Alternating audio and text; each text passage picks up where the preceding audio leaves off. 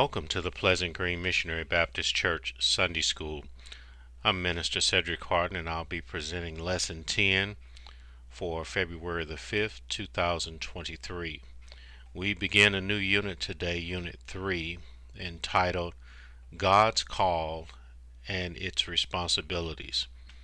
And our topic for today, taken from our Adult Quarterly, is Wisdom and Foolishness.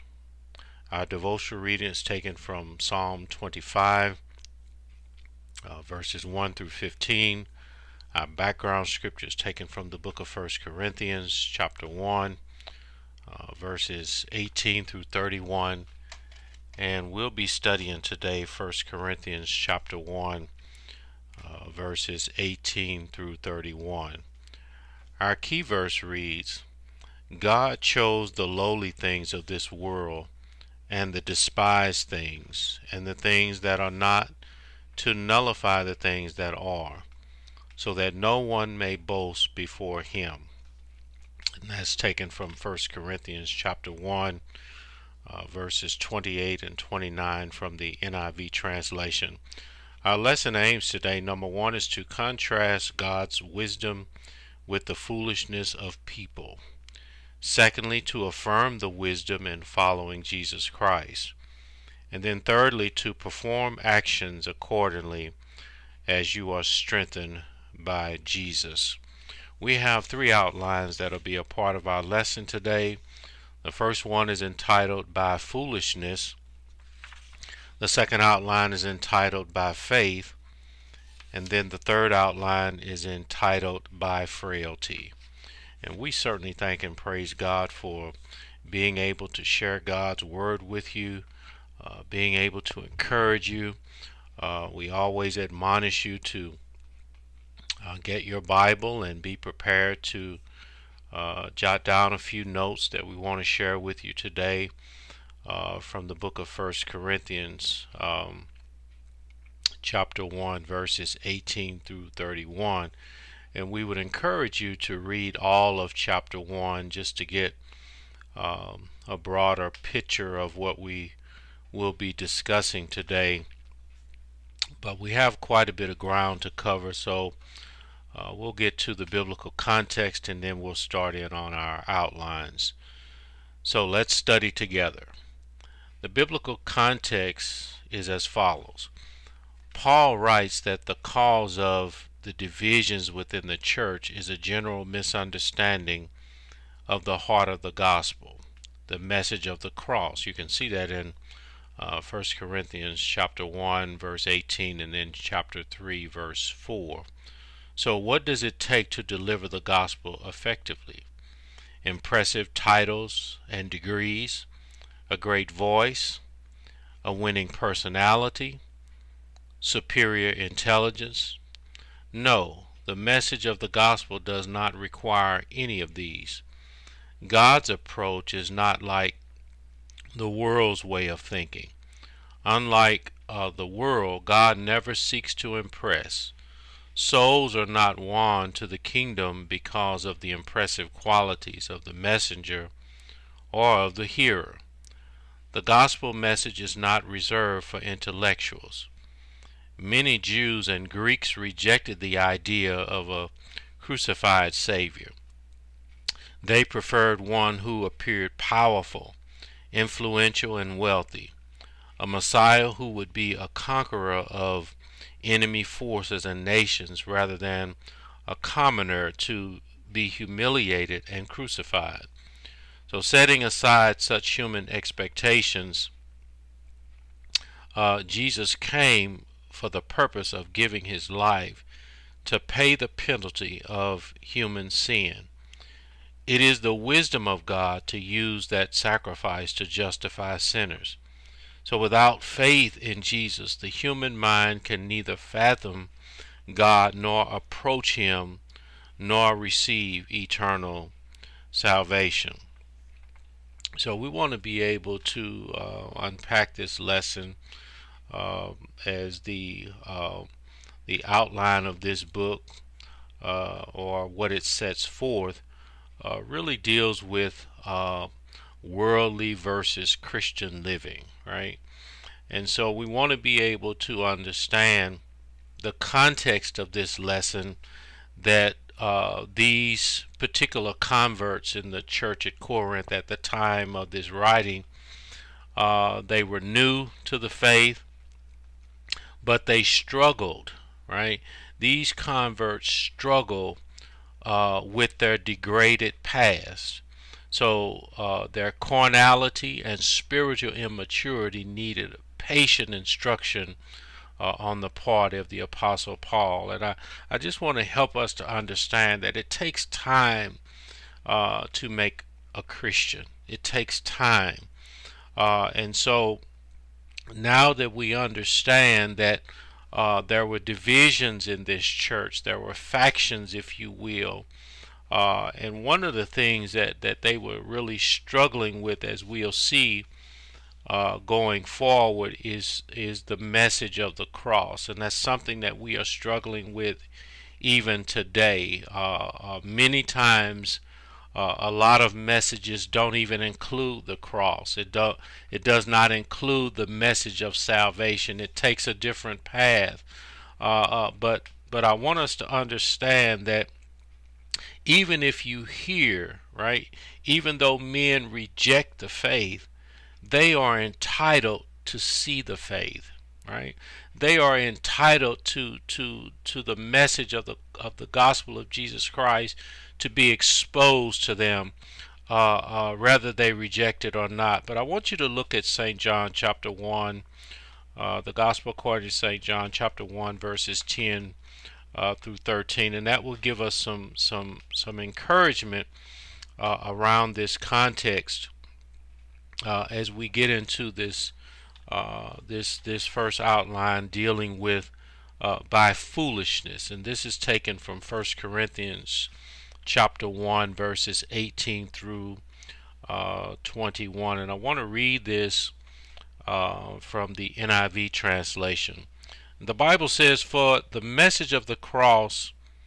is foolishness to those who are perishing but to those who are being saved, it is the power of God. Verse 19 For it is written, I will destroy the wisdom of the wise, the intelligence of uh, the intelligent I will frustrate. Verse 20 Where is the wise person? Where is the teacher of the law? Where is the philosopher of this age? Has not God made foolish the wisdom of the world? For since the wisdom of the world, uh, since the wisdom of God, the world through its wisdom did not know him, God was pleased through the foolishness of what was preached to save those who believe. You know, as we go back uh, uh, to the Old Testament, particularly the book of Isaiah, chapter 53. It was prophesied uh, when Christ came uh, that he would be despised and he would be rejected. What does that mean? Uh, uh, so the message, right? Not only was the messenger rejected, but also the message was was rejected. You'll see that throughout the book of Matthew as well uh, beginning at chapter uh, 13 all the way through uh, to uh, chapter 28 that the, the king, if you will, the Messiah had been rejected. And so was his message. But but we have to be able to present the gospel, the message uh, of Jesus Christ in a way that people can see the cross. You know, if we if we miss the cross uh, in our messaging, uh, we have missed the path that leads to salvation, right? So, but Paul is explaining that the preaching of the gospel of Jesus Christ, specifically the, uh, uh, uh the cross and the crucifixion, it is the power of God, right? But Paul confessed that God did not uh, send him to baptize people for the sake of making converts, uh, but to preach the gospel with simpli- simplicity without uh, diminishing the power of the cross of Christ that leads to eternal salvation. So it doesn't mean that Paul was belittling uh, uh, uh, the message or, or uh, the topic of, of baptism, but he was redirecting the focus, right? Was to preach the gospel and to let and allow people to hear the gospel message, uh, which includes baptism, right? We, there's a doctrine concerning that. But Paul uh, was focused on the Christ, uh, uh, on the cross and, and Christ, right? So, so we don't want to get hung up on things that cause us to miss the mark. And, and, and that's what had happened.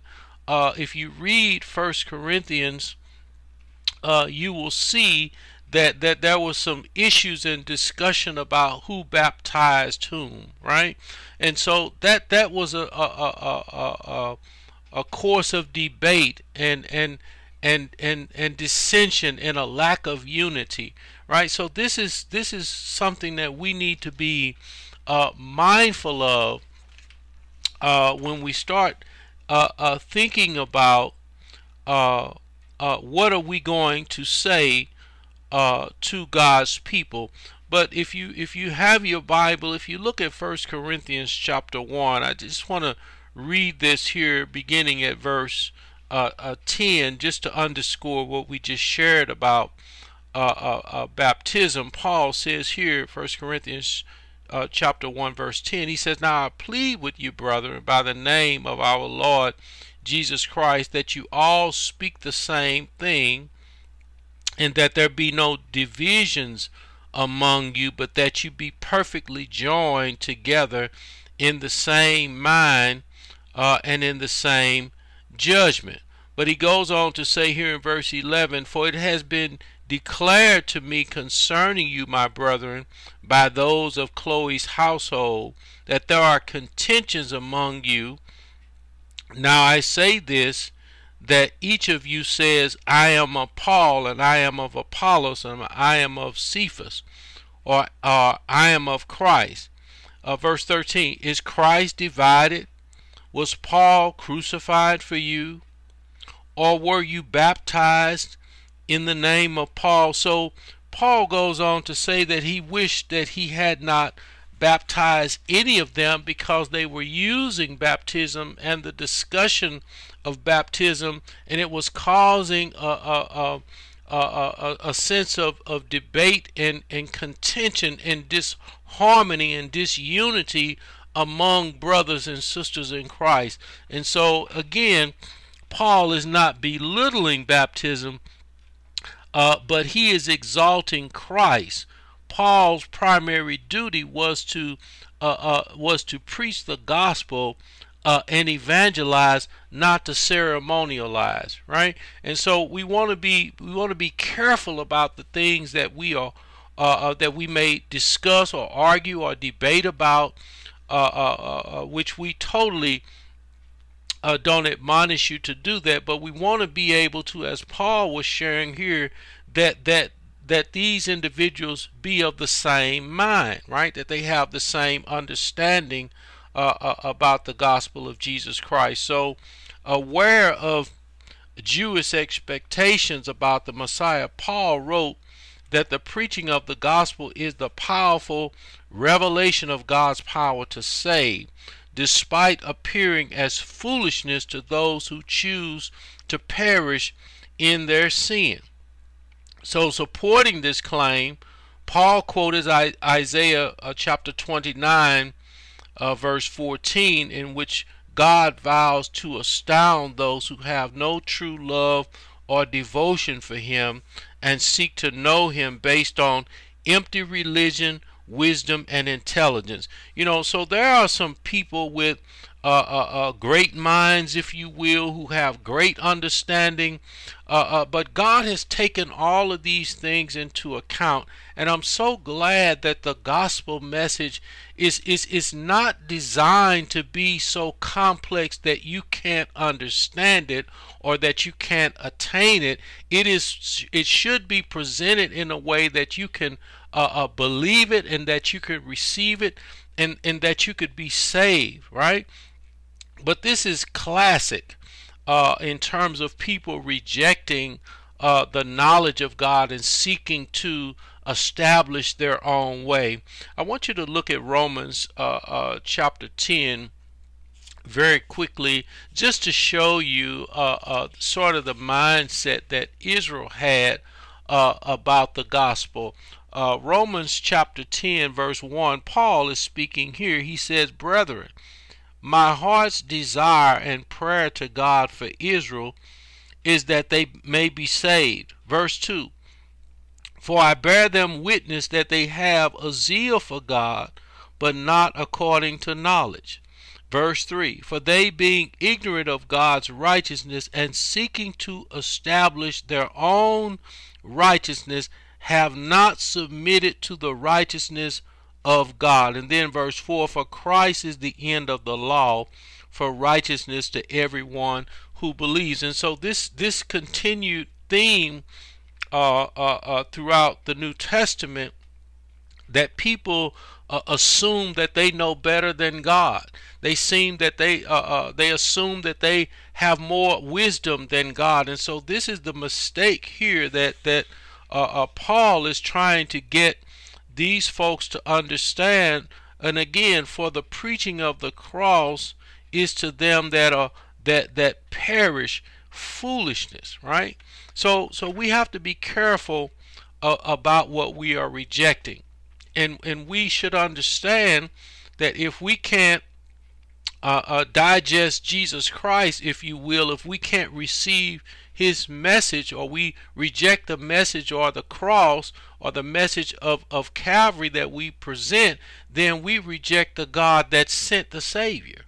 Right? So so it's it's it's it's a it's a fact that we reject the the triune God uh, just because we think we are smart enough to to go another path to be saved another way outside of Jesus Christ, then we miss the mark of the triune God. And so we just have to be able to understand here that Paul is trying to help these young converts understand. And I'm sure they had other people telling them things and adding to the things that they had already heard that made it challenging for them.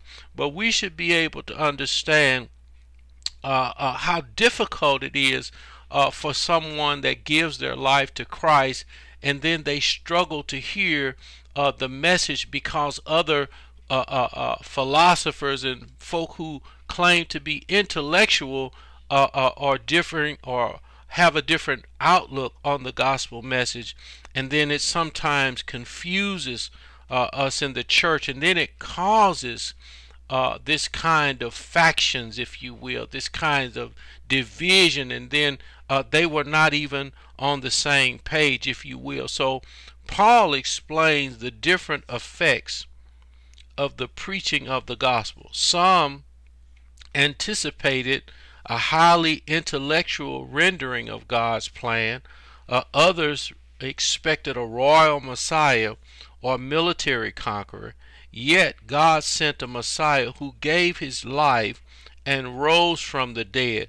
And this is foolishness to those who have who miss the spiritual meaning of the sacrifice. You know, we we should always underscore and make sure that we know uh, uh, the message of the cross, especially if we're going to present it uh, to someone else. And we should understand the spiritual implications of the cross as well as the natural events of the cross. So, why did Christ need to come? What was happening? What was he coming to do? What was the purpose of his uh, uh, dying? What kind of death was he dying? And why was it necessary uh, uh for him to be uh, uh, punished in a way uh, uh, that that we know that the Bible says that that he was. Why did he shed his blood? What does that mean? All of these tenets of the cross we need to unpack so we can explain the message in clear,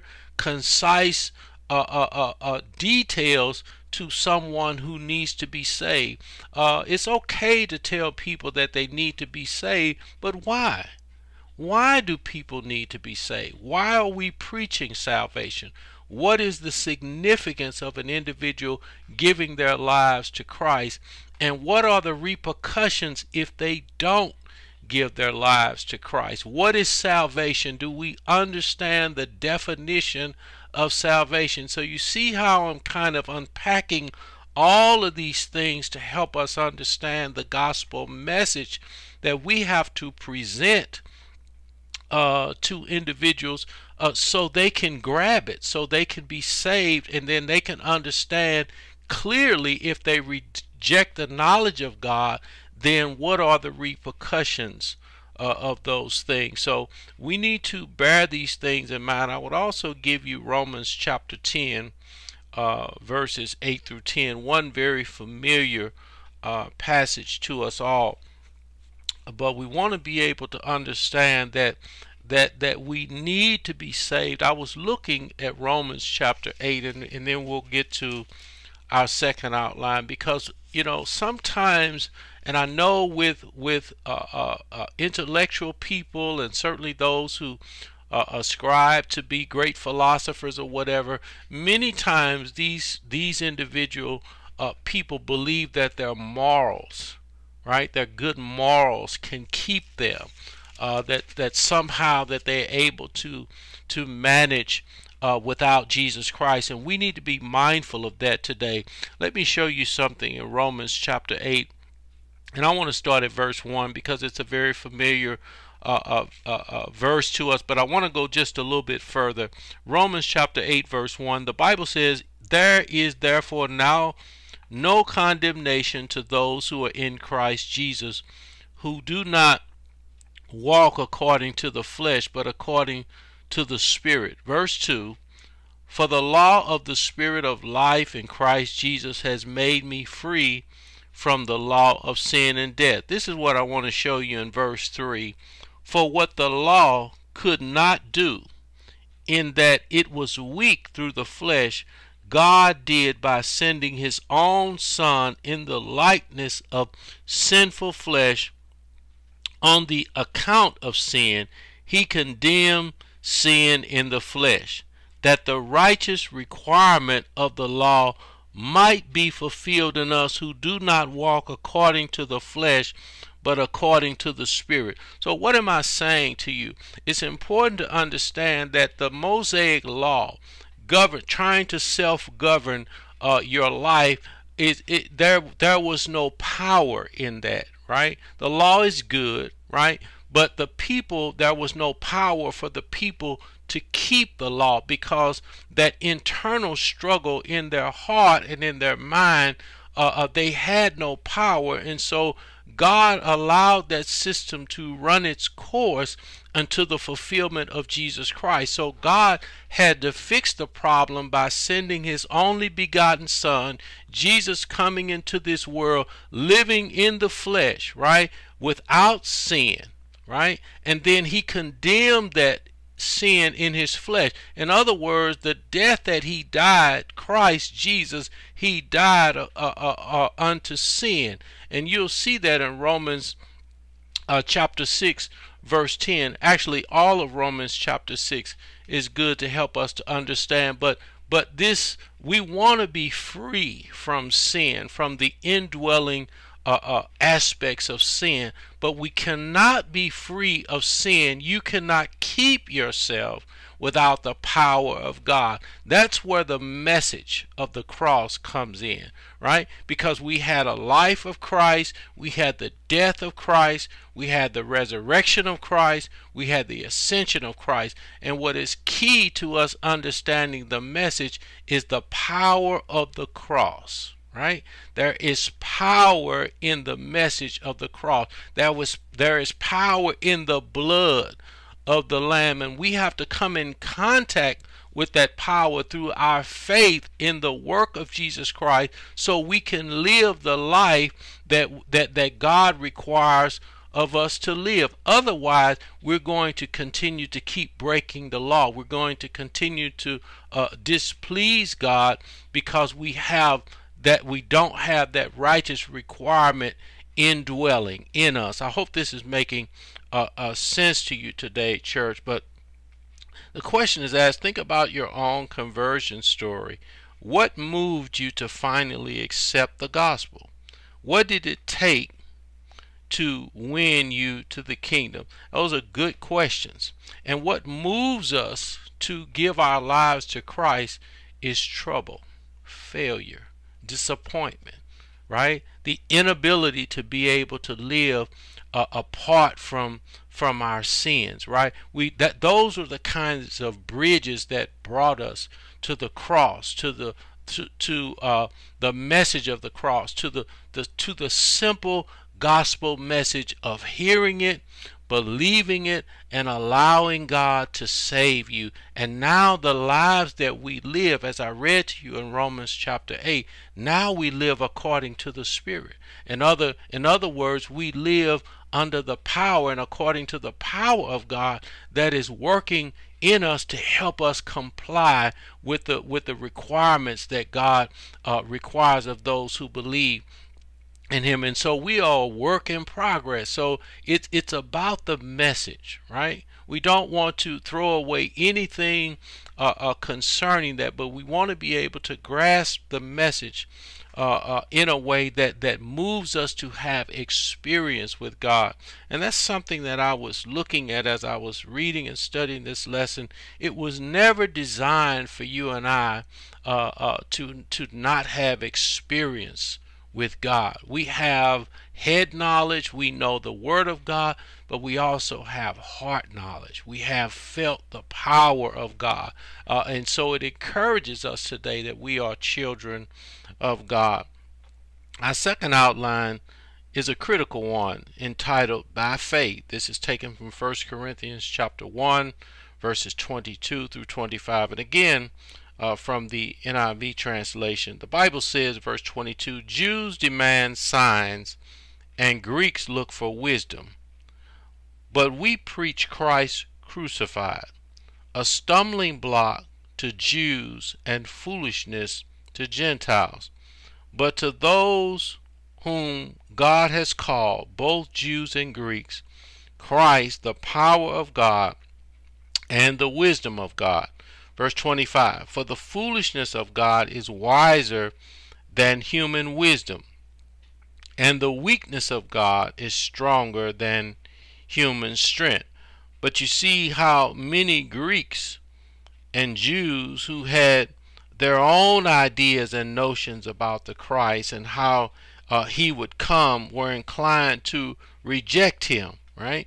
Some look for specific signs and wonders, others look for a military conqueror who would bring about the restoration of David's throne. Still others uh, uh, preferred convincing intellectual arguments, right?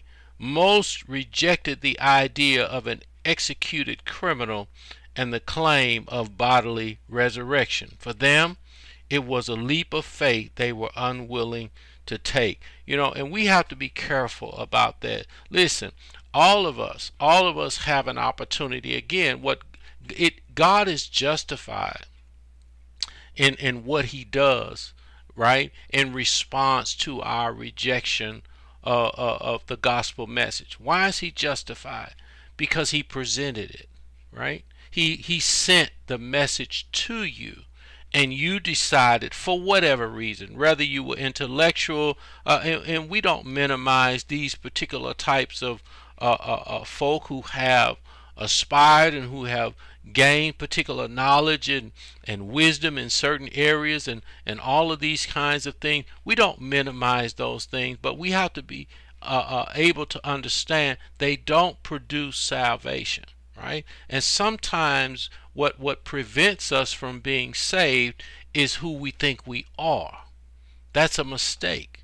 And when we think we are above the message of Jesus Christ, that we don't need to subject ourselves, as we saw in Romans chapter 10, or we don't need to uh, uh, uh, uh come down, if you will, uh, uh, off our high horse in a, in, in, in a way that we can receive Uh, uh, the gospel message, then we have to be willing to accept the consequences of rejecting Jesus Christ. We know there will be consequences. The Bible is clear that the wages of sin is death, but the gift of God is eternal life, which we have through Jesus Christ our Lord. So there will be there will be consequences, right, for our rejecting uh, the knowledge of God. Just because we can't see uh, uh, uh, uh, we can't rationalize, we can't believe what God says about his only begotten son. We can't believe or put any faith in the finished work of Jesus Christ. Many times we don't even want to hear it, right? We don't want to we don't even want to entertain it. But it is the only way that you can be saved. So in their zeal to know God on their own terms, they completely fail to grasp him at all. Knowing God begins with accepting that no one can comprehend the mind and processes of God. You can see that in Isaiah chapter 55, verses 8 and 9. Uh, but Paul preached the message of a crucified Christ, a message that found its mark, watch this, only in the hearts of those who were ready to receive the fullness of God's grace by faith. Right? it's one thing, and many times, I, and I've heard this over the years, perhaps you heard it yourself, that the preacher didn't preach a good message. Well, and, and, and, and maybe that may have been the case, but if, if you are hearing the gospel message and you don't mix faith with what you're hearing, then it makes that preacher look like he didn't or she didn't preach a good message when it was actually you who failed to believe in what you are hearing or apply faith to the message so as to be saved. So we have to be careful when it's time to hear, it's also time to believe, right? It's also time to accept. Uh, and many times when we are hearing, we are also rejecting in the same moment, right? So until those two things, the preaching and the believing, come together, how do you expect that there would be salvation? Right? So God's job is to send and present that message. Our job is to believe it, to cooperate, to to allow God to to to to uh, uh, uh, work in our lives. And if we fail to do that, then it makes the gospel message. Listen, it was not because these intellectuals and uh, these philosophical people, it was not because they didn't hear the message. They heard it. It was preached to them. But they made a decision in the moment that it was too far of a stretch for them, right? The Bible says, or our context says here, they were unwilling, right?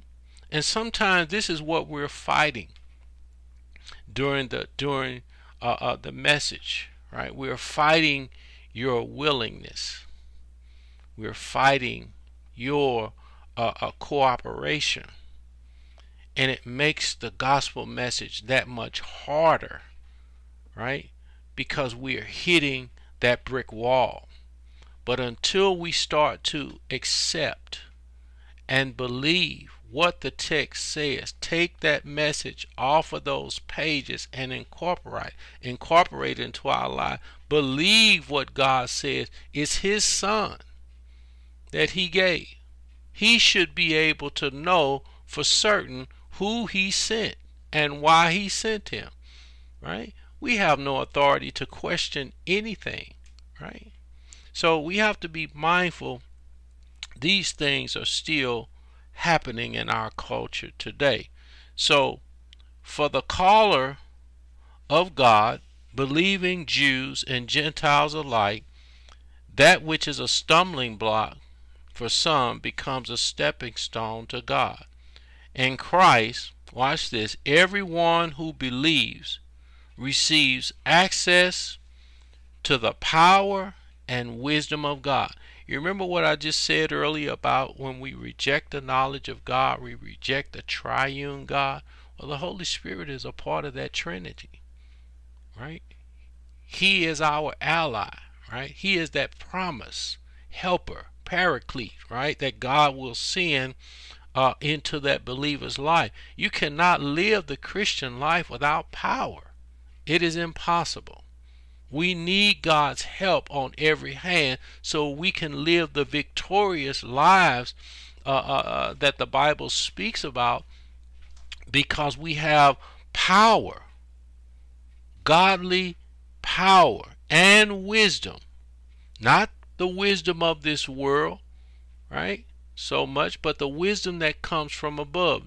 James, I believe, in the third chapter, talks about two wisdom, two types of wisdom one from above and one that's on, uh, uh, uh, from the earth. So, so we have these two things working uh, uh, uh, in our culture today, where men are using earthly wisdom to defy the divine wisdom and plan of God.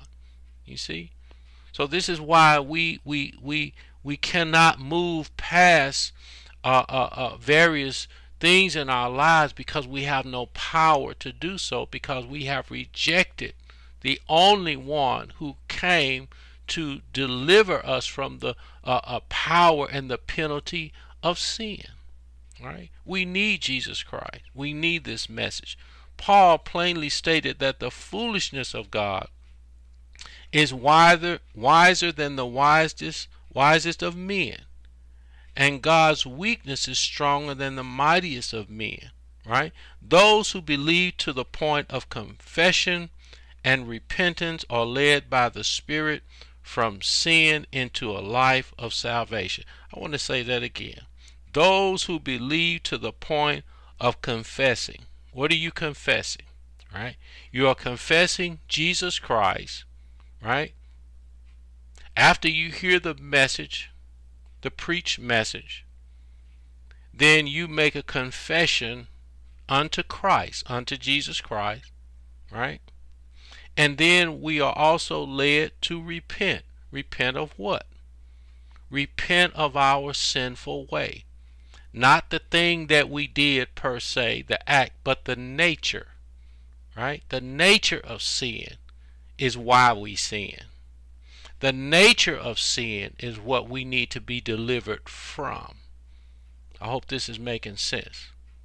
Sometimes we can't stop doing a particular sin or the wrong because we have not been able to get to the nature of it. And sometimes when we stop one particular thing that is ungodly, we start doing another.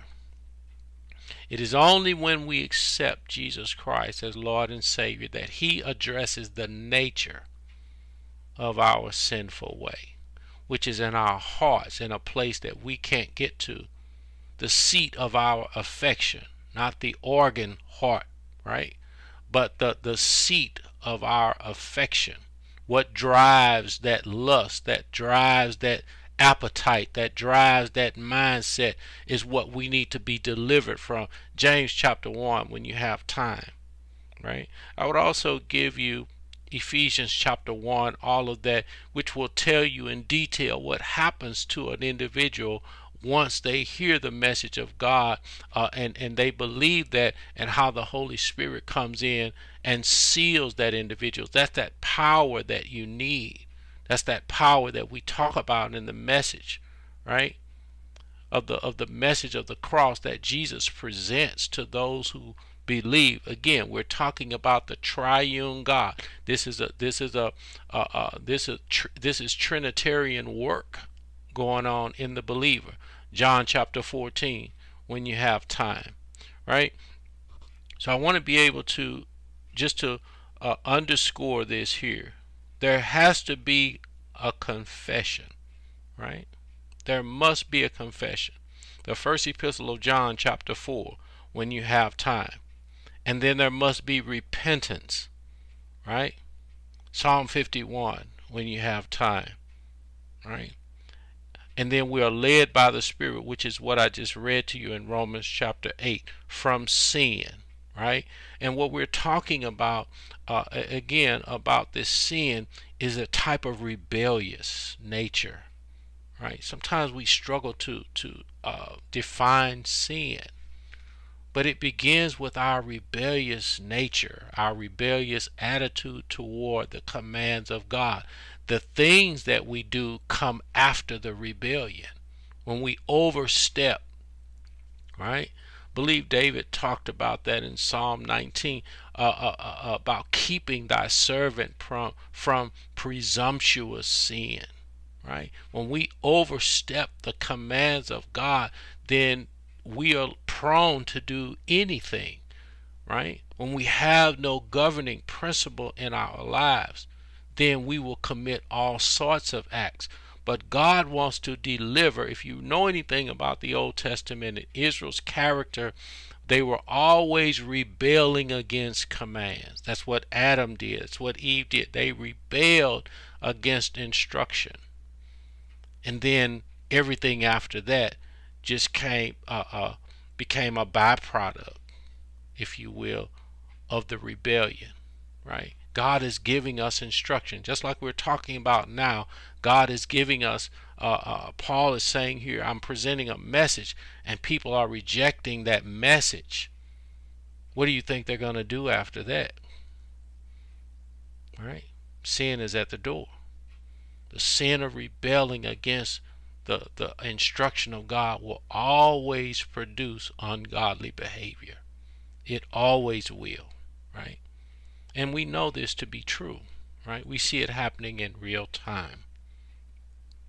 But again, by his wisdom and might, God guides and empowers them to overcome future obstacles and challenges. God guides and empowers us, right? This is what makes us overcomers in the world that we live in that we used to be a part of, but we are now in this world living victorious lives because of the message of the cross and because of the power of the cross, because of the power of God working in our lives, that we're able to live victorious lives. And people look in awe at us and say, Well, hey, wasn't you the person that just lived like this? And wasn't you the person that used to be a. Yes, I was that person, but now I'm a new creature in Christ right? And then we have to be able to witness that. How did how did that happen? And then you it's incumbent upon you to tell the truth, tell the story. Don't boast about what you did, but be be sure to tell them and if it had not been for the Lord in your life, where would you be? Right? Lastly, by frailty. 1 Corinthians chapter 1 uh, verses 26 through 31. And again, for, from the NIV translation, the Bible says, Brothers and sisters, think of what you were when you were called, right? Not many of you were wise by human standards. Not many were influential. Not many were of noble birth. But God chose the foolish things of the world to shame the wise. God chose the weak things of the world to shame the strong. Verse 28 God chose the lowly things of this world and despised and the despised things and the things that are not to nullify the things that are, so that no one may boast before him. Verse 30 It is because of him, right, that you are in Christ Jesus, who has become for us wisdom right? Wisdom from God, that is our righteousness, holiness, and redemption. Therefore it is written, Let the one who boasts boast in the Lord. Right? Paul is very clear, right? Think about who you were. Think about where you were. Think about what you were. Had nothing to do uh, with your standards, your influence, your noble birth, right? But God had nothing to do. And this puts us all on the same playing field, right? If you will. This puts us all on the same page. That puts us in a place of unity where the church at Corinth had disharmony and factions. Why do you have that when all of us have been saved by the grace of God? Why are we boasting about who we think we are when it's clear that the Lord saved you just like he saved you? It had nothing to do with who you think you are. It never will. It always has been because or but God. God chose you, right? As foolish as we were. God chose you as weak as you were, right? God chose us as shameful as we were. God chose us as low as we were, right? And the despised, right? God chose us. Right? Sometimes if you if you just take a minute and look back over your life and see the see the course that you were on before God stepped in. Right? It is a very humbling experience when you think about the fact that if it had not been for the Lord on your side, that always keeps me grounded. So that makes the past relevant, right? In a sense that I'm using it to glorify God. Lord, I thank you for saving me when I was without strength. Lord, I thank you for saving me and, and, and saving me for where from where I was and from doing you know you know the story better than I do. But I can only think about my life and I'm thankful to God that it was so dark in my life. But God brought the light of Christ through the message to my heart and applied it to the place that was giving me fits to the nature of the problem, to the root, if you will, which was my sick heart. And God saved it and restored it. Did the same thing for you. Did the same thing for you, my brother. Did the same thing for you, my sister. Why can't we see that together? And why can't we preach that together? Let's pray. Father God, we thank you for opening up our eyes to see your greatness. The greatness of the cross, the greatness of the Messiah, the greatness of the blood that was shed at Calvary. God, we thank you for the this simplistic message that you brought to our lives today that that Jesus, he did it and he paid it all. He finished the work paid that price for all of our sins, the one that that that, that we did in the past and the ones that we commit in present day and then the ones that we might commit in the future. Jesus paid it all. God, we thank you for such a such a wise plan to bring us out of darkness into this marvelous light. God, and I just pray that you would help us to preach the same gospel Help us to present the same simple message to those who need you most. That we not uh, put yokes on their necks that they are unable to bear. That we would present the message in a way that men might be saved and come to the knowledge of the truth. We just thank you today that we have been the recipients of so much loving kindness, so much grace, so much mercy we were not deserving of it, but by the grace of God, we have been able to receive. God, I pray for each and every household today, every condition, every circumstance, God, that keeps us from allowing you to help us and to help us uh, uh, come to the knowledge of the truth. We bind these conditions in the mighty name of Jesus. We rebuke any enemy that comes against this message in the name of Jesus to, to, to bring something other than, than the gospel message of Jesus Christ. We bind it in the name of Jesus. God, we pray that you will continue to dispatch those representatives to the place, to the heartbroken, to those who have lost their way, that they might receive this message. Give us receptive hearts and minds, God, in the name of Jesus, to not only hear the gospel, but to believe the gospel and receive. in the name of Jesus.